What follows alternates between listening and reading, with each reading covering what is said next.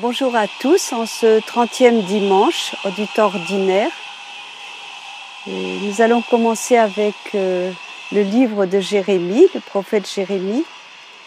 Et les versets qui nous sont proposés à partir du verset 7 euh, évoquent euh, le retour d'exil.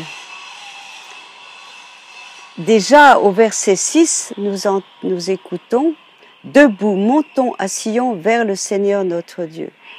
Retourner d'exil, c'est se diriger vers Jérusalem, c'est monter à Jérusalem, et c'est surtout monter vers le Seigneur, le Seigneur Dieu. La tradition rabbinique euh, insiste sur le fait que le mot retourner au pays et le mot retourner à Dieu, eh bien, ce sont les mêmes mots. Chouve, la chouve, retourner. Et c'est ce mot qui a donné le mot teshuva, la conversion du cœur.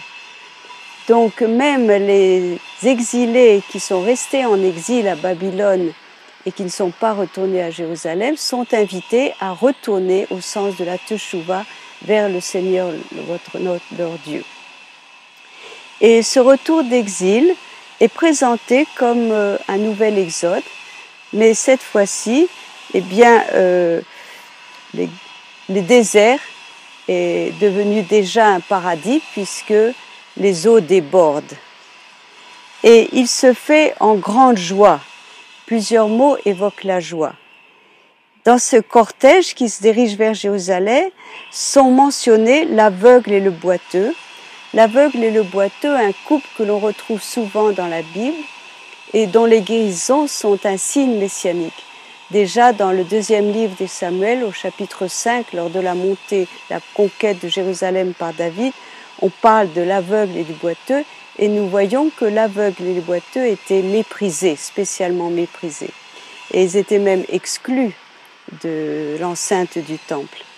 Et aussi la femme enceinte et la femme qui enfante, tous ensemble, c'est une grande assemblée qui revient ici.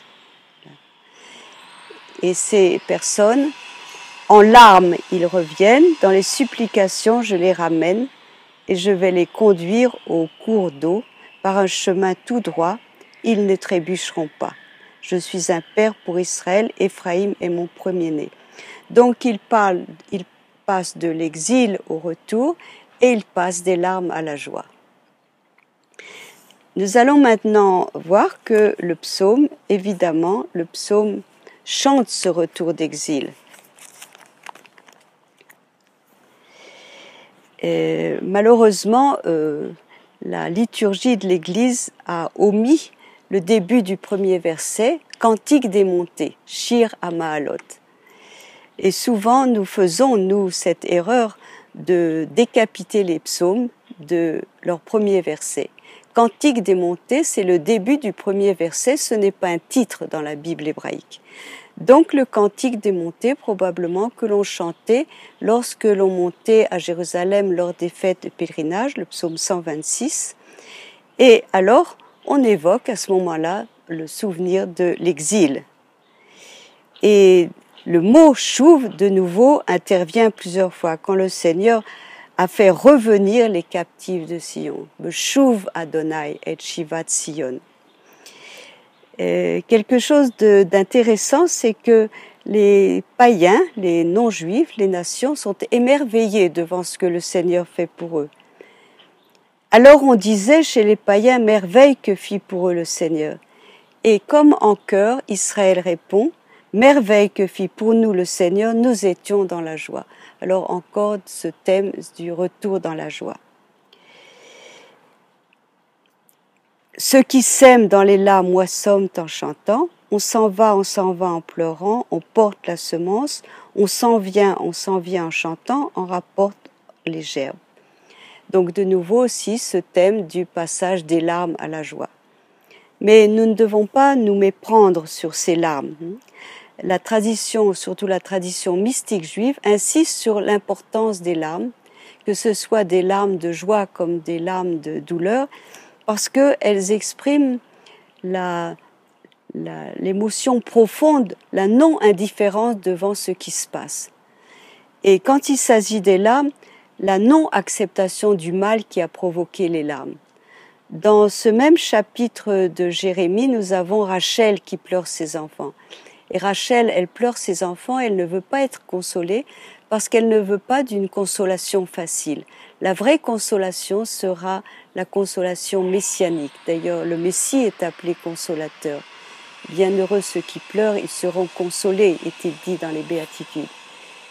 Et la, la, consolation, la joie qui suit les larmes, n'est pas comme une compensation aux larmes, ni une récompense pour les larmes. On a souffert, donc maintenant on est récompensé par la joie. Non, du fait qu'elles sont la non-accoutumance au mal, qu'elles expriment la, non-indifférence, elles portent déjà en elles-mêmes une note d'espérance et une note de joie. Et la tradition rabbinique, elles sont comme l'eau qui va arroser cette joie et la faire mûrir et lui faire porter semence. Alors que vient faire maintenant notre Bartimée de, euh, l'Évangile? Nous allons suivre son chemin sur la route de Jéricho à Jérusalem.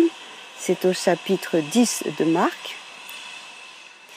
Donc euh, Jésus sort de Jéricho et probablement il monte vers Jérusalem. Savons que Jéricho, c'est la ville la plus basse du monde. Je ne dirais pas que Jérusalem est la colline la plus haute du monde, loin de là, mais tout de même, monter de Jéricho à Jérusalem, c'est quelque chose. Et cet aveugle se trouve assis au bord du chemin, il mendie. Donc il est en marge, il n'est pas sur la route, et il est dépendant. On lui présente celui qui est là, puisqu'il qui apparaît qui, sur la route, puisqu'il ne voit pas, c'est Jésus, Jésus de Nazareth, et il, en dit, il identifie ce Jésus de Nazareth comme le fils de David. Et cela ne vient pas tout seul, parce qu'il crie, et par deux fois ce cri est exprimé. Or, le, mot grec qui, exprime le cri est le même que l'on retrouve lorsque Jésus meurt sur la croix, chapitre 27 de Matthieu. Jésus poussa un grand cri et expira. Et on le trouve aussi lors de la parabole des dix jeunes femmes, jeunes filles insensées et sages, le cri qui, qui proclame au milieu de la nuit Voici l'époux. Et on dit que ce cri, c'est quelque chose qui sort du plus profond de l'être et même de plus loin que le plus profond de l'être, qui vient d'ailleurs et qui est comme inspiré et qui va révéler quelque chose. Tel était le cri de Jésus, tel est le cri des, qui retentit dans la nuit, voici l'époux, et tel est le cri de l'aveugle-né. Euh, cela vient d'ailleurs de lui-même, il est inspiré, et il ne crie pas comme ça d'émotion ou de souffrance, ce cri lui vient d'ailleurs. Et il reconnaît donc euh, ce Jésus de Nazareth comme le fils de David. Et paradoxalement, Jésus euh, le fait appeler par ceux justement qui le rejetaient, qui le méprisaient, qui le faisaient taire. Et ceux-ci lui disent euh, Lève-toi, il t'appelle. Aie confiance, lève-toi, il t'appelle. Le lève-toi, c'est le mot eigere, qui est le même mot utilisé pour la résurrection. Donc voilà notre euh, aveugle qui est en voie de ressusciter. Et euh, ensuite, il rejette son manteau. Alors, rejeter son manteau, on a donné aussi un, sens symboliste au rejet du manteau. Il se débarrasse de ce qu'il cache, de ce qui le couvre, peut-être de ce qui semblait lui donner un peu de dignité. Cela veut dire qu'il est libre, il bondit, il bondit, il jette son manteau, il bondit et il avance vers Jésus. Et Jésus, euh, délicatement, le fait lui-même exprimer sa demande. Rabouni, que je retrouve la vue. Va, ta foi t'a sauvé. Aussitôt il recouvra la vue et chemina à sa suite. Donc c'est la foi qui lui vient d'ailleurs, qui lui a permis de crier euh, fils de David, de reconnaître en Jésus le fils de, la, de David, et c'est la foi qui l'a sauvé, qui lui fait recouvrer la vue. Et voilà que maintenant, libéré, il n'est plus en marche, il va sur la route et il joint la foule qui monte vers Jérusalem. Maintenant, comment euh, faire le lien avec la lettre aux Hébreux, qui évidemment est une lecture continue et n'a pas de lien direct avec les deux premières lectures? Alors, nous allons essayer de, faire cette appropriation. Et la hum, lecture qui nous est proposée pour ce dimanche, c'est présente Jésus comme non pas euh, grand prêtre selon l'ordre des Lévis. Bon, nous voyons pour l'aveugle-né qu'effectivement il est fils de David, n'est pas fils de Lévi, donc il n'est pas fils d'Aaron, il n'est pas de la lignée des prêtres, mais les prêtres d'un autre ordre, l'ordre de Melchisédek, c'est-à-dire un ordre mystérieux, une prêtrise qui lui vient d'ailleurs, qui lui vient de Dieu. Mais pour faire l'appropriation avec les lectures que nous avons euh, lues auparavant, il faut aller un peu plus en, avant et un peu plus après de la lecture, parce que là, juste avant le texte qui nous est proposé,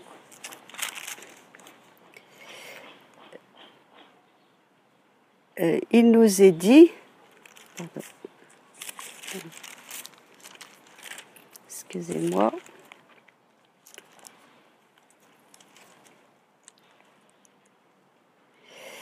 Il peut ressentir, ce grand prêtre peut ressentir de la commisération pour les ignorants et les égarés, puisqu'il est lui-même également enveloppé de faiblesse. Et un peu après le texte qui nous est proposé, c'est lui qui, au jour de sa chair, ayant présenté avec une violence clameur, voilà le cri, et des larmes, des implorations et des supplications à celui qui pouvait le sauver de la mort, et ayant été exaucé en raison de sa piété, tout fils qu'il était apprit de ce qu'il souffrit l'obéissance. Pourquoi Jésus peut-il nous sauver? Euh, Non pas de l'extérieur encore une fois, mais de l'intérieur, parce que il sait ce que c'est que de souffrir, il sait ce que c'est que de pleurer. Alors, euh, c'est pourquoi il peut nous accompagner dans dans tous ces mêmes passages, nous avons évoqué de l'exil au retour, de l'exode, c'est-à-dire de l'esclavage à la liberté, et puis de tous nos aveuglements à la vraie lumière. Merci et bon dimanche.